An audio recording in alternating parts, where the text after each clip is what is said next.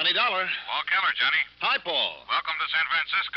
Unpacked your bags yet? Just about to. Well, don't. Hop over to Virginia City, Nevada. Wait a minute, Paul. I just got Virginia here. Virginia City, the ghost town that's no longer a ghost over on the other side of Reno. Our man there's Jake Walton. Well, what's the problem? The gold rush. That was a hundred years ago. Well, there's a new one right now. You're kidding. And with all the same problems, including a couple of murders. So fly over there and see Jake Walton. All right.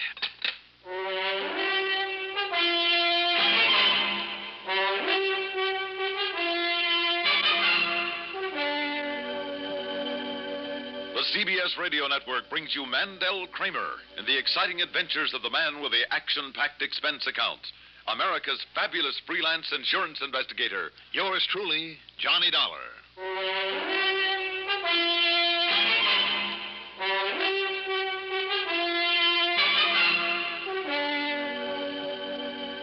Expense account submitted by Special Investigator Johnny Dollar to Greater Southwest Insurance Company, Home Office, San Francisco, California. Following is an account of expenses incurred during my investigation of the gold rush matter.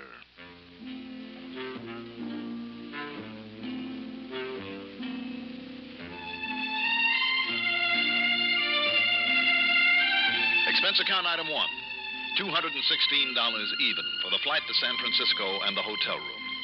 Item two, 1815 for a plane to the busy, noisy town of Reno. One of the gambling and divorce capitals of the West, as well as a business center for the mining and cattle industries. Item three, 50 bucks deposit on a rental car. And with the afternoon sun at my back, I drove south and east to Virginia City.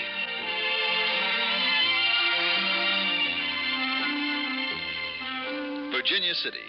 Colorful, fabulous monument to the rip roaring days of the famous Comstock Lode, when a man's life all too often depended on how fast he could draw, on how well he could defend a rocky piece of desert land that he hoped would stretch out a vein worth millions of dollars in gold bearing quartz or the heavy blue mud that was rich in silver. A lot of the old landmarks are still there for the tourist trade. Piper's Opera House. You pick up a key at the Bucket of Blood Saloon. The Crystal Bar. The territorial enterprise that carried the writings of Mark Twain. The gambling halls where instead of money on the tables, it was gold dust and nuggets. And on dark nights, I've been told, you can see the ghosts of the Bonanza Kings pacing the streets. Fair, Flood, and O'Brien. Mills, Gould, and Mackay. A grizzled old character sitting on a rocker in front of the bucket of blood didn't even look up when I asked him directions. Well, son, Jake Walton's office is right there across the street, other side of the newspaper. Hmm? Oh, yes, I see it now. Thank you very much. But he ain't there. Oh, I see. Um, you don't happen to know where I can find him, do you? Oh, I know where he is, all right, but uh, I wouldn't go there, son. Not if I was you. Why not? Well, him and the sheriff, they're out to the Scarlet Queen. That's a gold mine. The Scarlet Queen. Yeah, about halfway up to Six Mile Canyon over there. Hmm? There's an old wagon track up to the pass. Can I navigate that wagon road in my car? Uh, that's a pretty new car you got there. Real pretty. No, sir. Take a horse or a burro unless you got four-wheel drive. Where can I get hold of a horse? Jake Blakely's stable down the end of the street. But, uh, don't you go to that mine. Why not? Well, there's been another killing out there, like there's going to be more of them. More dynamite accidents. Like the one that uh, done this to me. Did what to you? Ha! Didn't notice, eh? I'm blind. At Jed Blakely's stable, after a lot of argument that I should stay away from the Scarlet Queen, I finally got hold of the horse by forking over a $200 deposit. Then I headed up into Six Mile Canyon. A couple of miles later, I found the old wagon road to the mine. It was crooked and steep, and there was a narrow pass to go through at the top. But from the pass, when I let the horse stop there for a breather, I could see the mine below me. There were two or three weather-beaten shacks right next to a platform with tracks on it that led into a hole in the sheer face of a cliff. A couple of jeeps and a beat-up old high-wheeled truck stood in front of the line of shacks. And a group of men were hauling a body out of an ore car to load it onto a truck. I got off the horse and over behind a big boulder and nothing fled. Gunshot and come from my left and were still coming and from someplace and somebody I couldn't see. Next one, the horse took off. say I felt a little alone, a little helpless at that moment. It's the understatement of the week. With a twig of mesquite, I raised my hat above the protection of the boulder, hoping to draw another shot to get a better idea where to start shooting myself. Nothing happened. Slowly, cautiously, then I worked around to the far edge of the boulder and carefully looked around the edge of it. Holy, that was in back of me. Don't move, stranger. What? You swing that gun of yours around this way and you're going to be real dead. Well, Mister, you drop that little lemon squeezer you got in your hand, then up on your feet and turn around and face that rock. all right. Why not? Go on. Turn around. Face up to that rock with your feet apart. You put your hands up on it. You have the gun. Higher. Get those hands up higher. You make one move, I pull this trigger. You're the boss. You're darn right I am. Okay, Jake. Jake. Looks like you got him, Leona. It's a city man. Told you it wasn't nobody from around the Comstock. Looks like you're right, Leona. huh? So watch him, Jake, huh? Real careful. He may be a tricky one. You got a good point there, Leona. So's just to make sure he don't try any tricks. When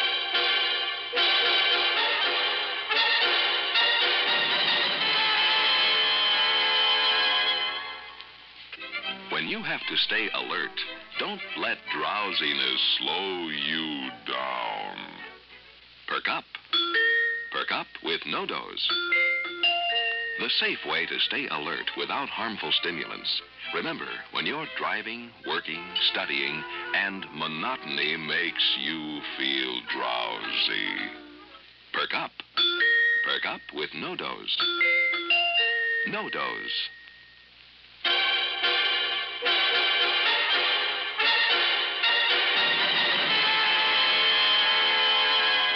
Jake start to throw that punch, and when you know it's coming in from where you roll the punch, and I rolled, and I turned and took him with me, and together we rolled on the ground. I grabbed for the legs of the girl, and she came with me.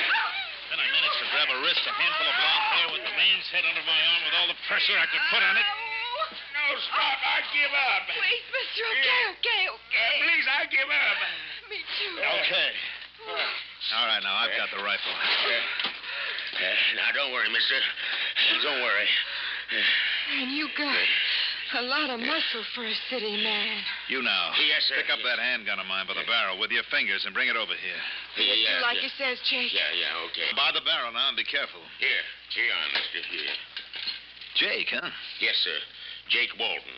What? And this here is Miss... Jake Walton of Greater Southwest Insurance? Yes, sir. Me and Miss Leona, we was only up here account of this Oh. last accident of the mine. Oh, no. And when we see you prowling around up here, we... Huh? You mind telling us what you think is so gall darn funny? Well, I'm sorry, ma'am. Look, my name is Johnny Dollar. Dollar? Well, well, Leona, listen.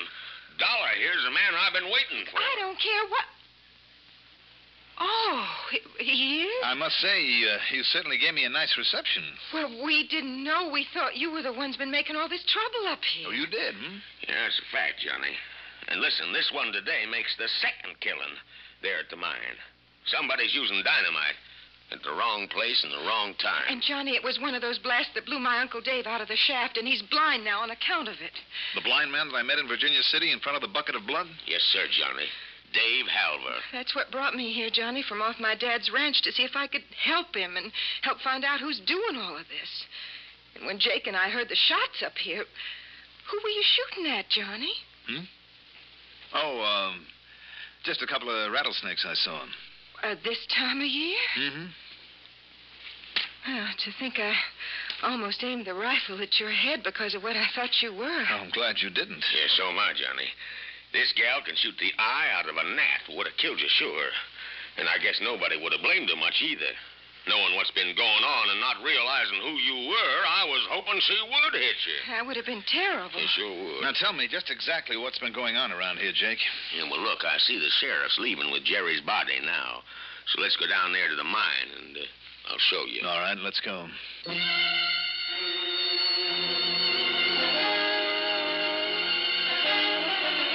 Queen, named after a shady lady of the 60s, the 1860s, was a small but very old mine away from the main body of the Comstock lode, but once considered a fairly profitable maverick offshoot of it. Now, watch your step, Johnny. There's a big vertical hole along here, and if you ever fell into it, there, see it there? Yes, yes, I see it, Jake. Just keep that lamp of yours on the ceiling and we'll be okay. Johnny, you want to kind of give me a hand? Sure, be glad to. Here you are. Oh, I'm still not exactly used to being around inside of these mines. They never did have any business opening up this one again. Oh, why not, Jake? It never will pay off. Well, Uncle Dave thinks it will, and he ought to know on account of it really ought to belong to him. Should it, Leona? Sure, if that crooked lawyer hadn't fixed it so now it belongs to Ski Lambert. Well, I'm not so sure that lawyer wasn't right, So Leona. Uncle Dave ends up working for him till that dynamite hits him down here and blinds him. Yeah, well, maybe it was like the New York Keystone mine, the other side of town, that started this latest gold rush now. How do you mean? Original shaft was sunk back in 70 by some fellas who didn't even own the property. So all the owners had to do was wait until the shaft was finished, then take over. Oh, easy now. Now we go down this ladder to the second level. You make it all right, Miss Leona? Sure, I can. You two go on ahead. All right, now. What, uh, what started this new gold rush, Jake? Oh, talk about maybe the government raising the price of gold, I guess. A lot of the old mines may be opened up again. At least them as can mill out thirty, forty dollars a ton or more. I see. Now, the last couple of rungs are missing now, so watch your step. I'm okay. I'm on solid ground again. I'll be glad when they get the elevator working again in this darned old... Oh! Oh! Oh, what's the matter? Oh, thank Wow. goodness you were here to catch me, Johnny. Oh, anytime, anytime, Oh. Leona. I'm afraid I, I'm too heavy for you. Ah, you sure you didn't do that on purpose? If I had, would you mind? I was hoping you had. Oh, now set her down, Johnny, and let's get on with this. Would you mind your own business, Jake Walton?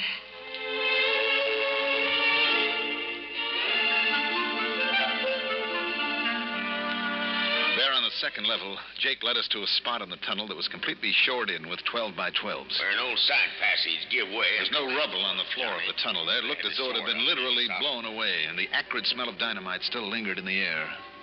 Yeah, a man would be in here working on these ties, Johnny, where they're going to lay track for some ore car. Yeah? And then all of a sudden, a stick of dynamite would go off. Right here, where it had no business. First one of them killed Harry Beller, another one blinded Uncle Dave. And then, just before you come, young Jerry Lambert, the nephew of the owner, Let me have that lamp a minute, Jake. Oh, sure. Something here I want to. s- Oops. Oh, that gang it busted. Yeah. Yeah, all right, that's that. But can we find our way out of here now without a light? Sure we can. Jake? Uh, sure we can, Miss Leona, but, uh, uh Yes? We better be mighty careful about that hole we have to skirt around up in the tunnel above.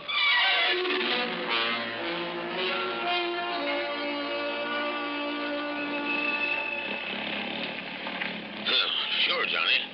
This road back to Virginia is a lot shorter than the one you took. a lot smoother, too. You call this smooth? You never been aboard a bronc, Johnny. Well, if it's any worse than this. Uh... Look, there's the horse that I hired. Better stop and get him. He cost me a couple of hundred bucks. Now, don't you worry none. You'll go on back to the stable. And that reminds me. Where you going to have supper and staying overnight? We got an extra bedroom, Johnny. Well, so is Uncle Dave, Johnny, and I'm an awfully good cook. Huh, Johnny? Well, that's the kind of invitation I like, Leona. Good. Okay. I won't try to compete with a pretty gal. But uh, I think I better stay with Jake. But why? That is, if I may borrow this Jeep for a while tonight. Oh? Well, sure, anything you want, but why? Just a little idea I have. Then later? Yeah. Later, Leona.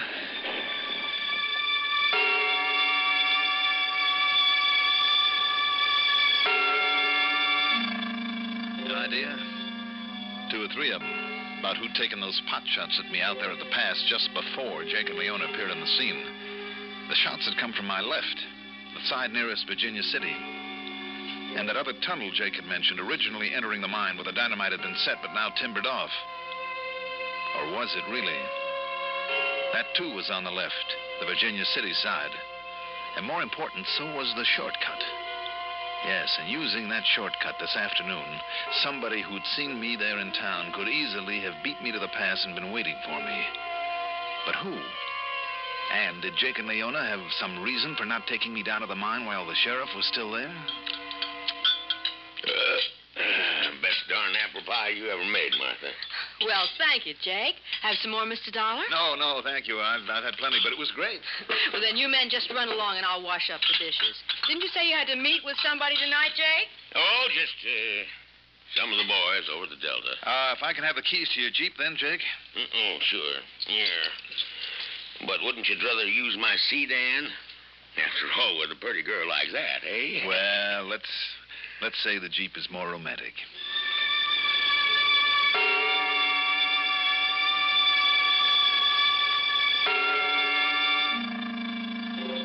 Item four, 680 for a powerful electric lantern and a small flashlight, just in case. Then I took off in the Jeep. Just out of the north end of town, I heard shots off in the distance. But who would be using a gun this time of night? I took the shortcut to the Scarlet Queen this time, and there I found the entrance to the side tunnel cleverly hidden under a pile of discarded roofing. And that slanting shaft was perfectly clear as far as I could see in it. I went around to the main entrance, into the tunnel there, down the ladder to the second level, and this time I looked at those heavy shoring timbers carefully. Yes, in one spot where the side tunnel would be, instead of a 12 by 12, was a little square of 1 by 12 on a hinge. A door where somebody could throw in a stick of dynamite and kill whoever was working in there. I hung the lantern from the ceiling.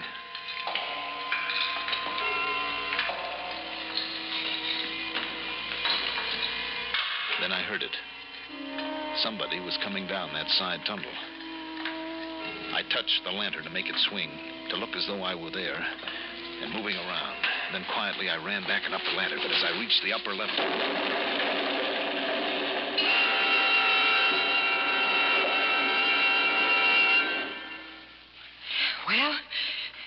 get him? Can't see yet. Not until the dust clears down here, but must have got him. Then come on. Let's get back to town. Let somebody find him there in the morning. Leona and the old man. That's all I need to know.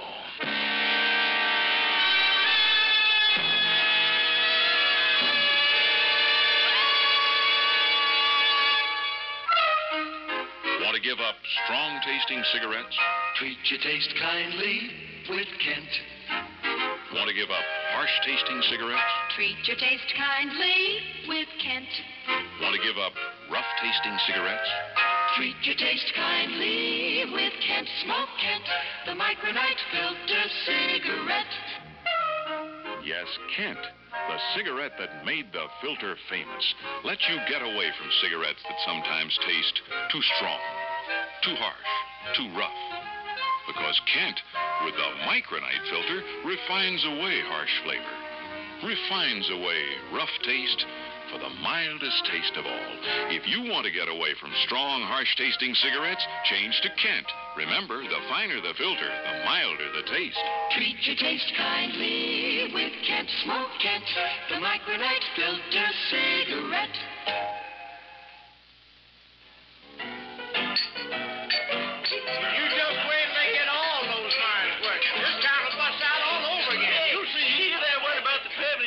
Privilege hills. Well, let me tell you. You know what I heard?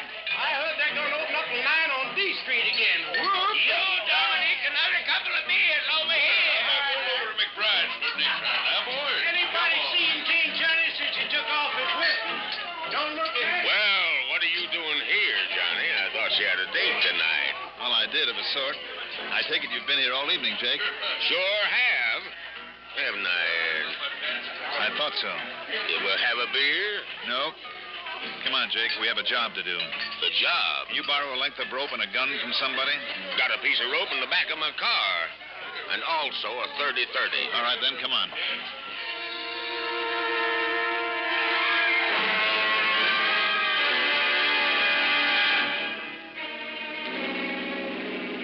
Well, I, I, I, I, I still can't believe it, Johnny. And you'll have to see for yourself, Jake. Just be sure you do exactly as I say. Okay, Johnny, okay. Keep the engine idling to cover any sounds you might make. Right.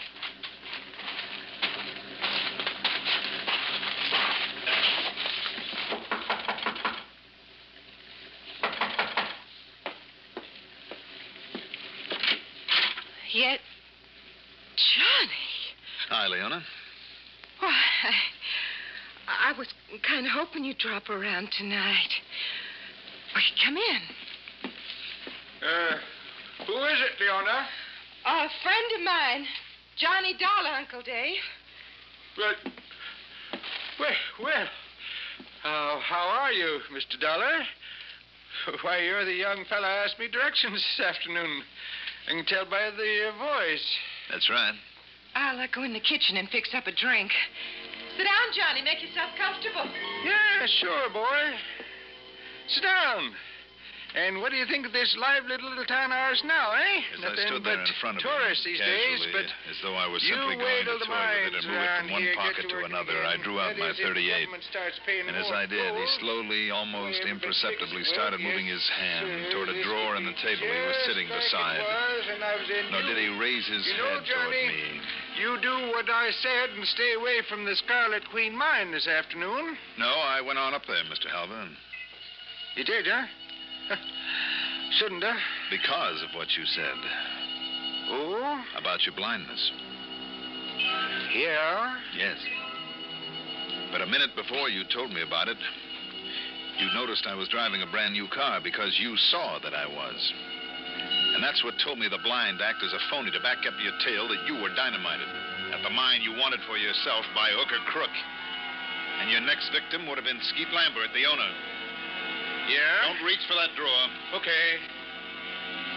Okay. Dollar. He doesn't need to, Johnny. Don't move. He doesn't, hmm? No. Because I got this one. And me, Leona? Chet. Well, this gun's aimed straight at your head. Then it's you. Oh, my hand. You broke my hand. Sorry, Leona. You should have known better. Jake, you want to come inside and call the sheriff?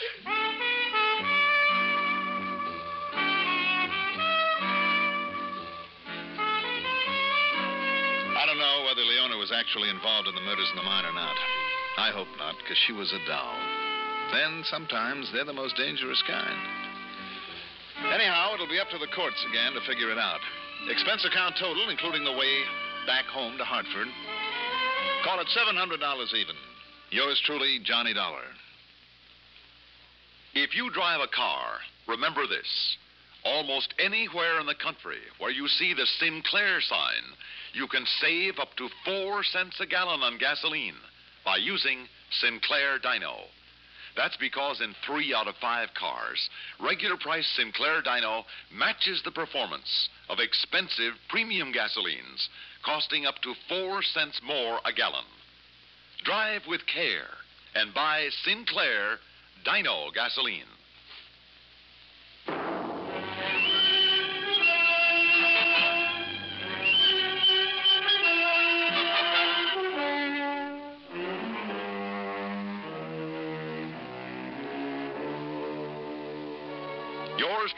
Johnny Dollar, is written by Jack Johnstone, produced and directed by Fred Hendrickson. Johnny Dollar is played by Mandel Kramer. Also featured in our cast were Cliff Owen, Reynold Osborne, Terry Keene, Leon Janney, Rosemary Rice, and Sam Raskin. Music supervision by Gene Sines. Sound patterns by Walter Otto. Technical direction, Michael Shoskis. Be sure to join us next week, same time, same station, for another exciting story of yours truly, Johnny Dollar. This is Stuart Metz speaking. This is Betty Furness. Every weekday, three times daily, I report to you latest items of interest in the woman's world. Dimension is my vehicle, and the CBS radio network is my home address and yours as we explore the dimension of what interests women today. Nation, or neighborhood. Expanded CBS News covers them all on the CBS radio network. This is WRW Music, Albany. Listen, how old do you think this car is? Well, there's really no way of telling how old because a worn out muffler makes any car sound far older than it really is. It's good to know that if your car sounds older than its years, your nearest Midas muffler shop has what it takes to make it sound its quiet self again in just 15 minutes. Midas has the specialists, the experience, and the famous Midas muffler you'll need. Stop at Midas Muffler Shops, two convenient locations, one half mile north of the shopping center in Latham, or stop 26, Albany Schenectady Road. Open daily and Saturday 9 till 6, Wednesday and Friday till 9.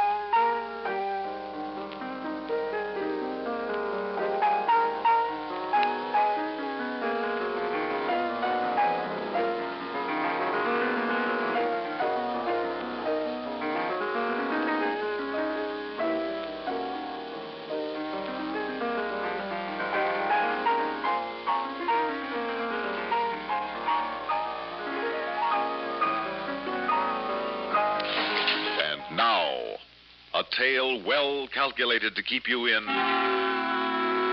suspense. In a moment, Act One of The Lost Ship, written especially for suspense by Erwin Lewis, and brought to you by the makers of Marlboro cigarettes. You've been listening to the OTR Gold Network. Find more classic radio at OTRGold.com.